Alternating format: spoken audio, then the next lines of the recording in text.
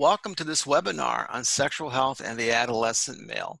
I'm Fred Wyand, Director of Communications with the American Sexual Health Association, ASHA, and I'll be moderating this activity, which was developed through an independent educational grant from Merck and Company.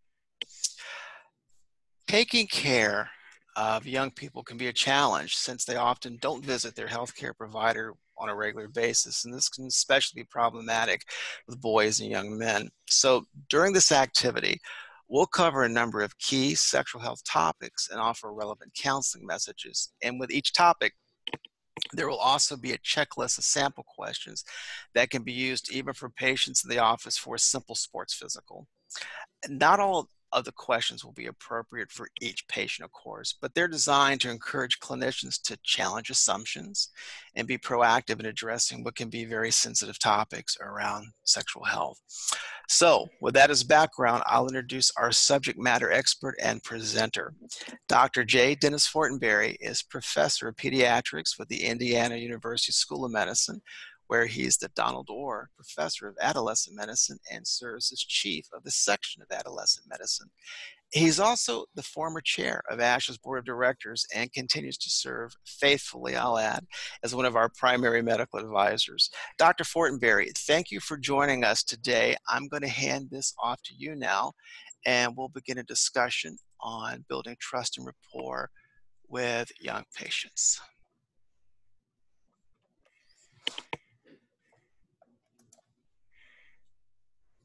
Thank you, Fred. It's a critical place to begin in thinking about how to build trust with young men. It's easy to start with less personal things before moving on to some specific discussions around sex, relationships, and mental health.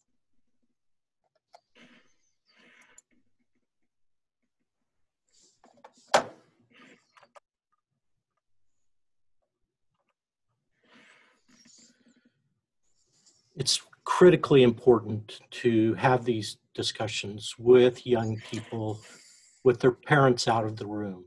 Parents can be in the room at the beginning and at the end of discussions, but some private time with you is an important part, as well as letting the young person know that the things that you talk about are confidential. You can help parents with this by letting them know up front that at some point you'll be asking them out of the room. It's important to talk about your privacy policy with the young person at the beginning. You can say things like, I'm obligated to respect your privacy and your confidentiality. The things that we talk about are between us, and the only things that I would share are those that would concern me about your safety or the safety of others. And this slide that Dr. Fortenberry is showing, it goes to the healthcare provider section of ASHA's website. And in addition to the pre-visit checklist for young males that you're seeing here, there are also companion documents for providers and a number of other tools as well. So we encourage you to click and check those out. They're all available for a free download.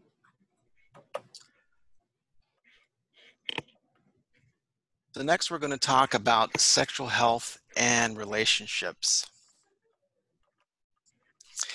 And Dr. Fortenberry, when we were putting this activity together, I was struck by how early in adolescence we probably need to start thinking about having conversations about sex. Well, the important thing is to remember that almost all adolescents will have some kind of partnered sexual relationships during their adolescence, but there are earlier and later onsets of those activities, and it's important to be able to discuss those before those activities begin.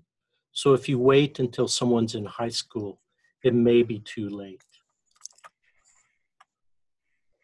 So there are some specific kinds of topics that you can address fairly explicitly and safely with young people. You can directly ask, What kinds of sex have you had with another person? You can ask if they're in a relationship with a person or with other people, and how do you feel about that person? How do you meet the people that you identify as either romantic or sexual partners? And where do you get information about sex? From your school, from your friends, online? There are a lot of sources. As you talk about contraception and the prevention of unplanned, unwanted pregnancies, it's important to remember that your discussions about the topic don't encourage or give the appearance of permission to have sex, but it is quite clear that the lack of access to contraception and information about contraception is associated with pregnancy risk. And you see here some important information about the use of, of contraception in adolescence. And it's important to remember that those figures have increased over the past decade or so. With that, it's important to remember that some young people still don't reliably use condoms and other methods of contraception. So it's worth a discussion with every young person at every opportunity that you have. Young people still appreciate discussions about topics, about consent, about boundaries, about self image, about peers. They are all important to them in making healthy choices about their sexuality and the prevention of pregnancy and sexually transmitted infections. Some of the specific things that you can address after you've established sexual activity and the importance of sexual of contraception is ask the young person what kinds of contraception they might be using. Have they talked about it? Do they know about things like emergency contraception? Is it something that you could offer them? Ask them how they have discussed protecting both the patient and their partner from sexually transmitted infections. And ask them specific questions about condom use, use with every kind of partnered sex, and even asking about things like do you know where to get condoms and do you know how to use them? If not, there are some good online sources for how to use condoms correctly. Relationships themselves, with or without sex involved, are an important part of many young men's growth and development during adolescence. It's also a place where you can begin conversations about intimate partner violence and around issues of consent. And it's important to remember that this is a common experience of young people's lives where at least 15% of young men who are victims of violence or who have perpetrated um, have that history and many of these are never addressed by their clinicians. So it's an ideal age to begin that inquiry. You can explore other kinds of positive aspects of about relationships. Are these important relationships to you? Are they enjoyable? Are they good for you? You can do that in the context of exploring other kinds of violence and intimate partner violence experiences and raise the issues of, of consent, remembering that some of these disclosures may be mandatory reporting in your state. You raise a really good point. I mean, this is a timely discussion in an era where we're thinking more about consent and power dynamics and relationships and, and a couple things. I mean, these can be issues at any age. It's not just something with you know, older or middle-aged folks. Uh, really can happen across the spectrum. And, you know, I think sometimes we tend to think about consent as being just well whether or not to have sex period but uh, you know it's it's, it's like your reference it can be a, a, consent is also an issue about whether or not to use birth control uh, whether or not to use condoms uh, it can be what kinds of sex you know, one is willing to have if they're willing to have sex at all. So there's uh, you know there, there's there, there's a lot to that. So next we're going to talk about some issues around sexual orientation, gender identity, and the experiences of sexual minority youth. This has become an area that a lot of practitioners have begun to try to develop approaches in their own practices. It's important to remember, despite all of the negative experiences that many young sexual minority people will experience, that many are extraordinarily resilient, they're well adjusted, and they do well in their school and with their families. That being said, it is important to remember that a lot of these young people have experiences of bullying, they've had experience with dating or intimate partner violence, and they have substantially higher rates of depression and suicide attempts, as well as other health harming behaviors such as cigarette smoking, alcohol use, some forms of substance use. These are important consequences of one's sexual identity, especially as a sexual minority youth. You can do a lot in your practice to make the, environment affirming and safe for sexual minority people, lesbian, gay, bisexual, and trans young people.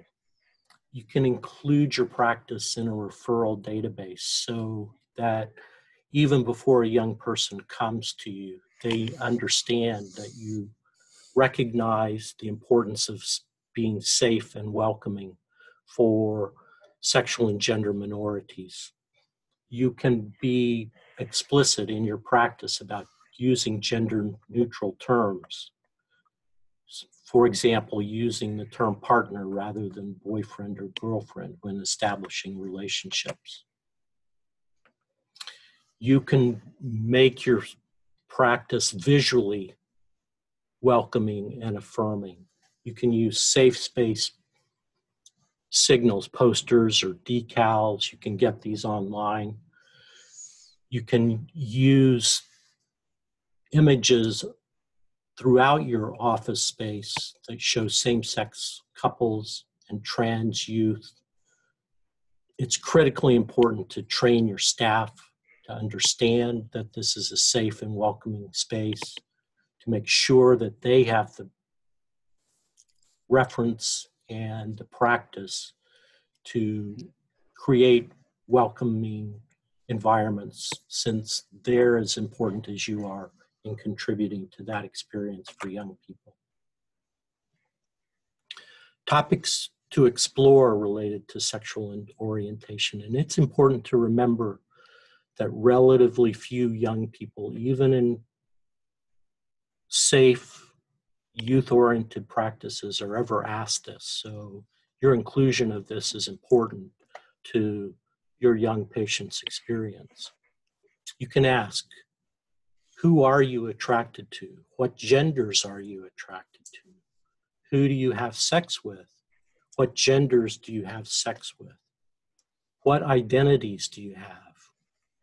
Gay, lesbian, bisexual, queer, or something else? What behaviors have you experimented with? You can ask, Has anyone ever forced you or pressured you to have sex? And you can ask, Has anyone ever given you a hard time or has bullied you because of your sexual orientation?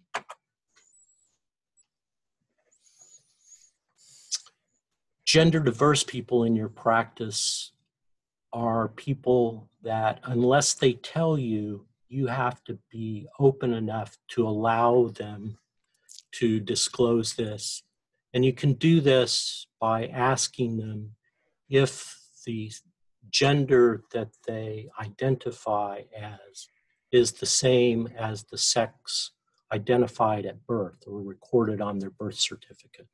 Those two pieces of information help you identify within your practice those that may have issues in terms of their gender identity. This is a critical place of creating a welcoming space for gender diverse and gender queer transgender patients.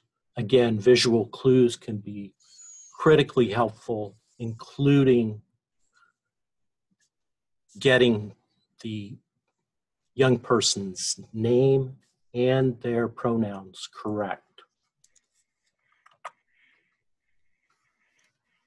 You can ask if a young person hasn't disclosed do you see yourself as male, female, or some other gender? Do you have concerns about your gender or others in your world? Are there people that you can talk to about things like this? If you identify someone who's having those issues, you can explore the safety and trust they have for others in terms of this.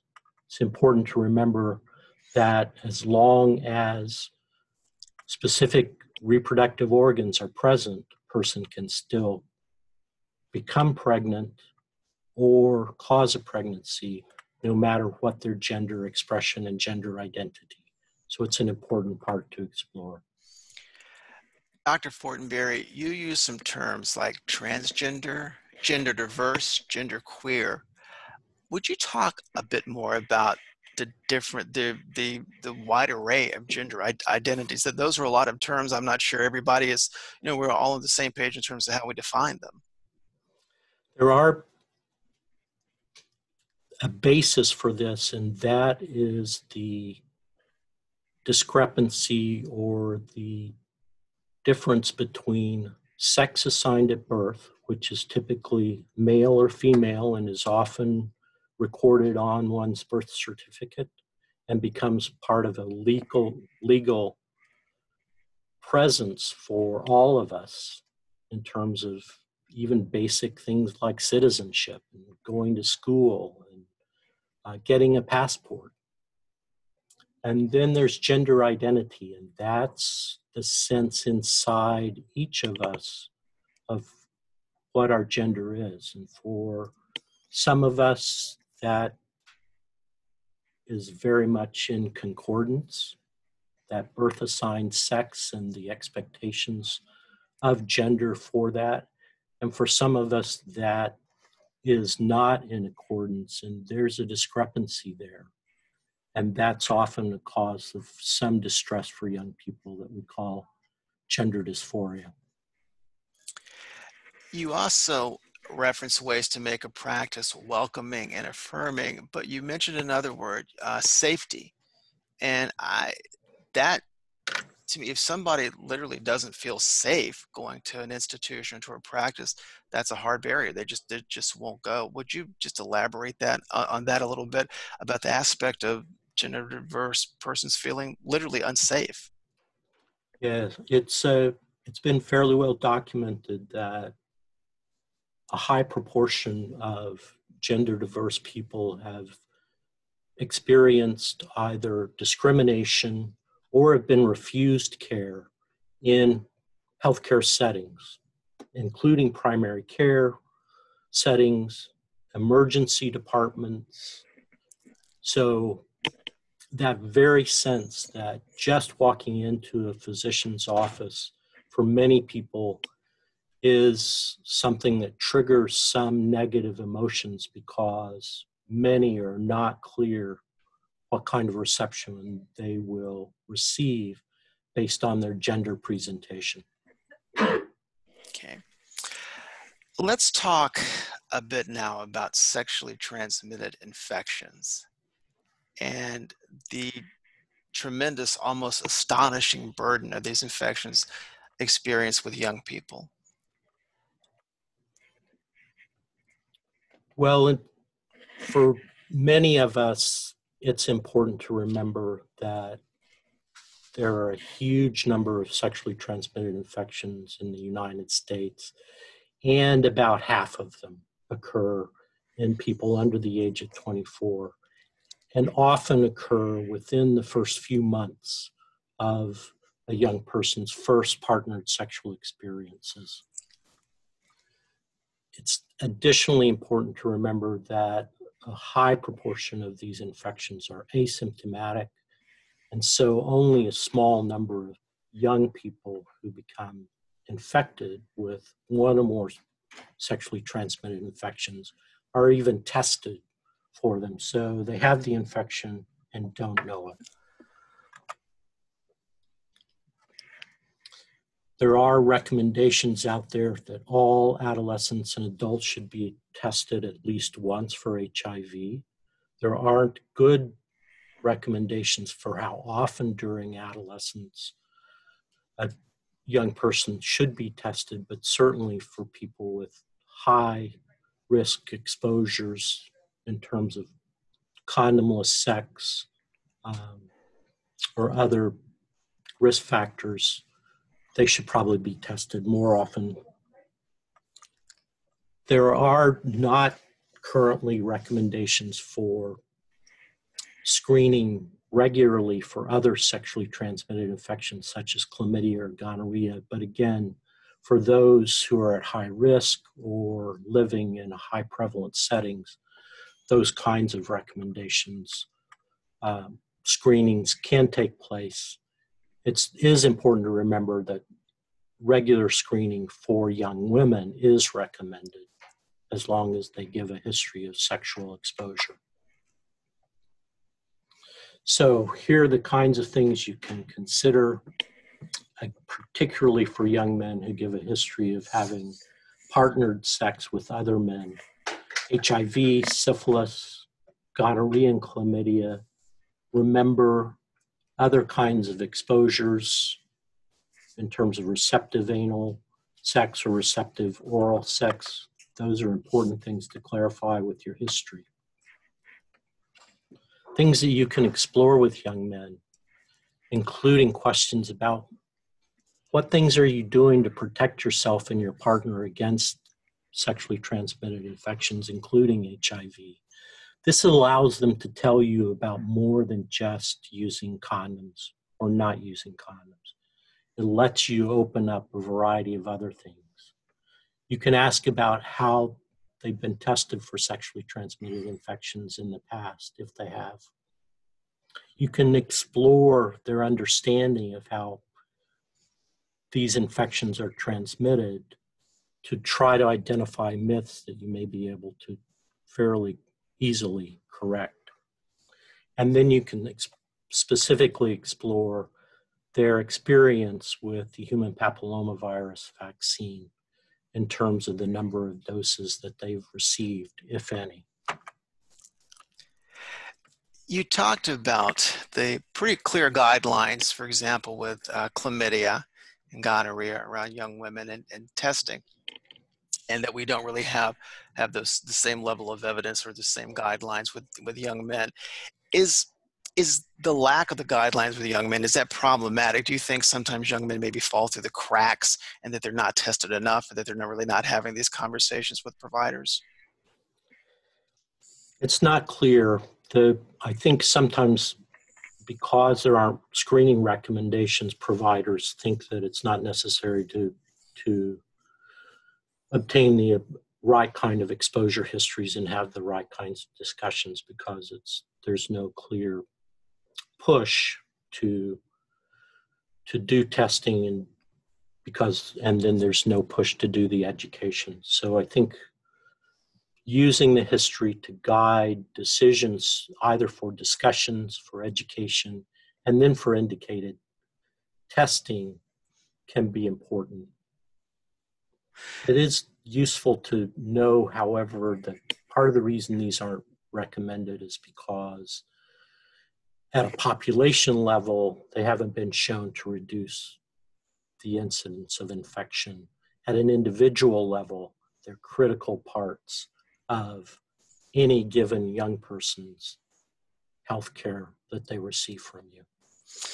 And on the healthcare provider page on the ASHA site I referenced earlier, there are some links to sexual history taking materials uh, for clinicians. Um, so we'll make sure that we include that on the landing page for this, uh, for this webinar.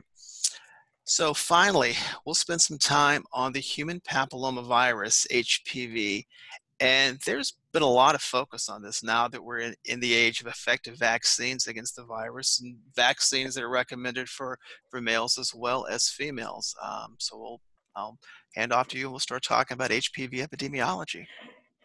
Yeah, HPV has really been an area where contemporary technology has has been shown to be extraordinarily effective. It's important because HPV is common. There are different types. About 40 of them are known to be sexually transmitted, and about 15 have some potential to cause cancers of different types, often genital and anal rectal cancers, particularly. The fact that they're common is really important because it's useful to know that almost every sexually active person will acquire at least one HPV infection over the course of their lifetime. And that those infections happen commonly in unvaccinated people, and they may happen very soon after young people have their first partner exposure, sometimes at the first exposure, often within six months, half or more of young people who are unvaccinated may have had their first infection. And this is a big deal in terms of its cost, in terms of the HPV infections themselves and the consequences of HPV infections. It's common in young men as well, and in at least a cohort of slightly older men from this particular study, half of the men had at least one HPV infection. And over the course of a given year, new and about 40% of the men had a new infe- infection with at least one HPV. These are viruses that are common but are primarily transmitted through sexual intercourse, but almost any kind of genital contact can transmit. Condom use is important in reducing HPV transmission, but it may not be fully protective because areas of the skin that are infected may not be uh, covered by the condoms. It's important to remember that in the United States today, the head and neck cancers associated with HPV may be the most important consequence of HPV infections, with significant rise in the incidence of oropharyngeal cancers, particularly in men. Many of those infections can't be detected after a period of initial detection. And it's the persistence of some of the types, particularly HPV type 16 and 18, that are associated with cancers of the anus, penis, oropharynx, and other genital organs.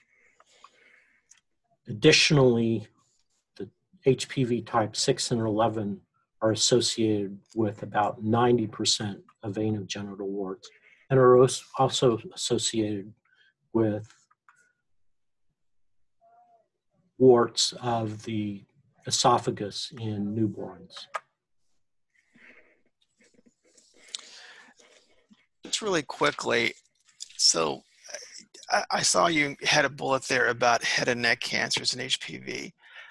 That's not currently part of the vaccine's indication. But what do we know about how well the vaccine might actually work with head and neck diseases related to HPV? It's true that we don't have a lot of data in the era of HPV vaccination to show that it will reduce the rates of those cancers because it's very clear that those cancers are etiologically responsible for the cancers.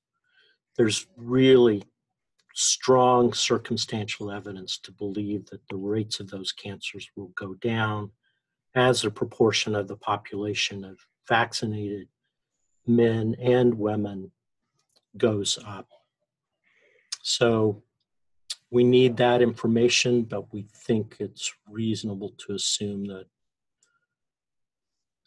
effective vaccination programs will affect not only cervical cancer and other anal genital cancers, but also pharyngeal cancer. So that's a nice segue to the section on vaccine recommendations and dosing. So, like I said, there's this is a triumph of contemporary technology, public health, and evidence that we can address sexually transmitted infections with vaccinations. In the United States today, there's one HP vaccine that's available. It's a nine valent or nonavalent prophylactic HPV vaccine, so it's important to remember that it doesn't address existing infections. This is an extension of the quadrivalent vaccine that was introduced a number of years ago. Currently, it protects against seven oncogenic HPV types, particularly type 16 and 18, and the two non oncogenic HPV types associated with genital warts, type 6 and 11. It's approved for several cancers, as we talked about. It's not approved for the prevention of oropharyngeal cancer, but it's also approved for the prevention of anogenital warts. And it's important to notice that in many vaccinated populations, clinicians never see anogenital warts anymore in younger populations as long as they've been vaccinated. In some countries where they have very high vaccination rates, the incidence of anogenital warts has gone close to zero.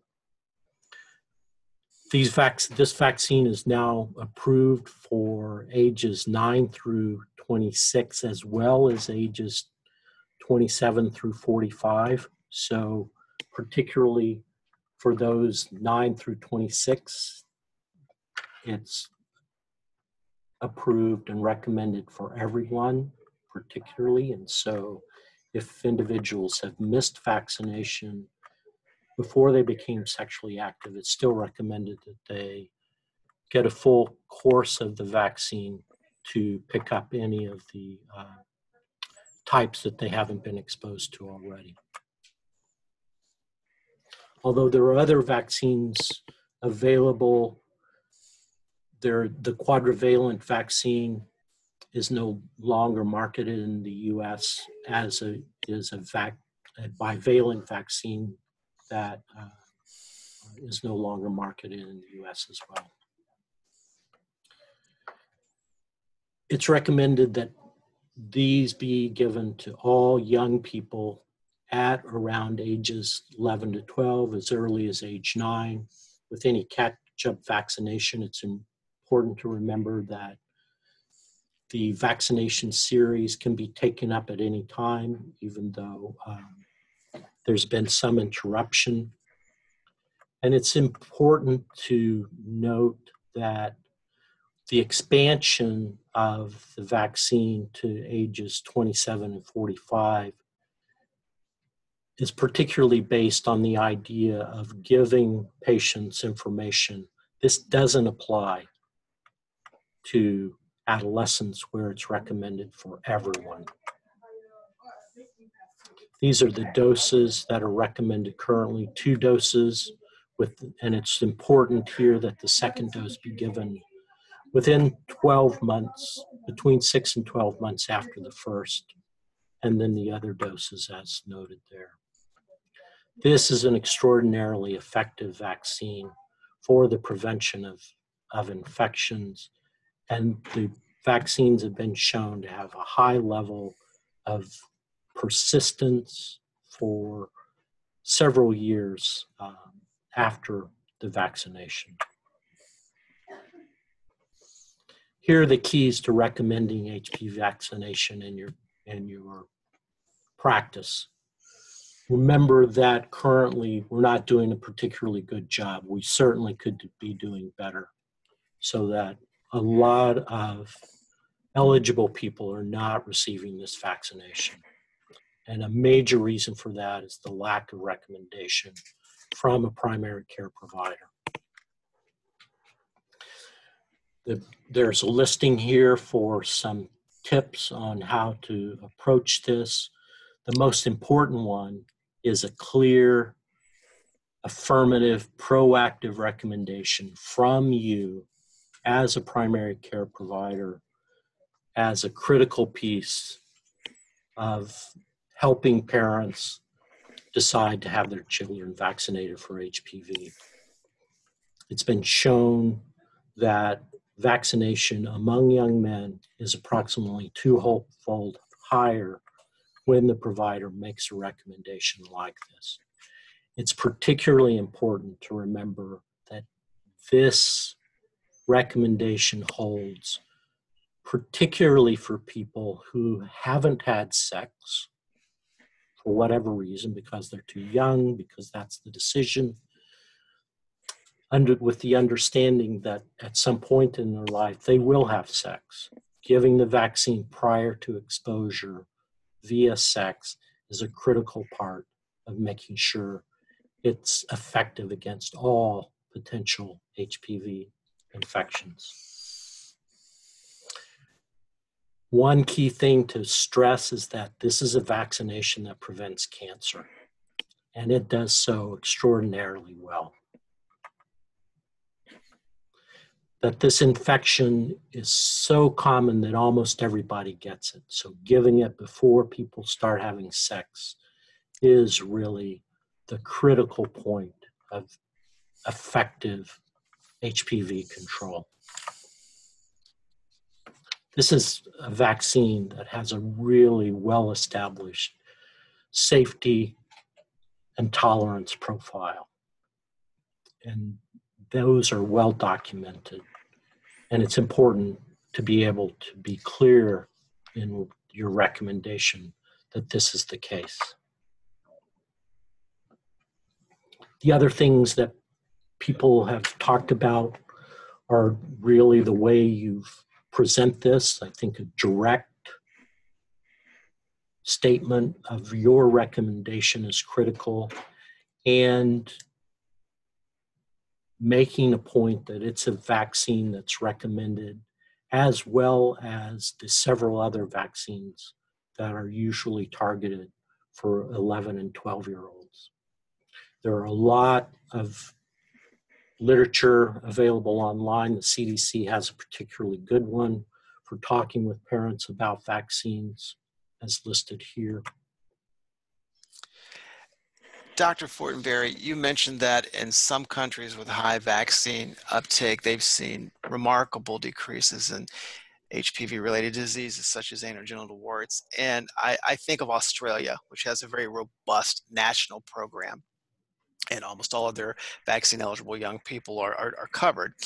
We're doing better in the US, but we still have a way to go, especially with young males. And I'm wondering, is there still something of a disconnect in the minds of not only the public but of clinicians about HPV as, as a female centric infection? The vaccine is really more of a priority for females. Does that really play into in, into the relatively low uptake of the vaccine with, with young boys? I think that's a reasonable perspective because this has often been seen as something to prevent cervical cancer and cervical cancer uh, as something that is a young woman's, is a woman's problem. It's minimized the importance of the infection for men as people who would transmit it. But I think it's important to remember that a number of cancers, genital cancers, penile cancers, anal rectal cancers, and as we now know, although it's not part of the recommend approved indication for the vaccine, oropharyngeal cancers, those are all consequences of HPV infections that are targets for this vaccine.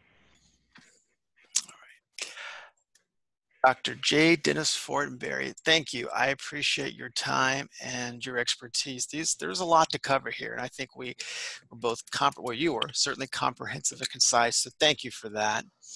Um, On the screen, you'll see links to a pair of websites, ASHA's flagship site, along with our National Cervical Cancer Coalition. It's a program of ASHA's that offers education, support, and advocacy for patients and survivors of cervical cancer.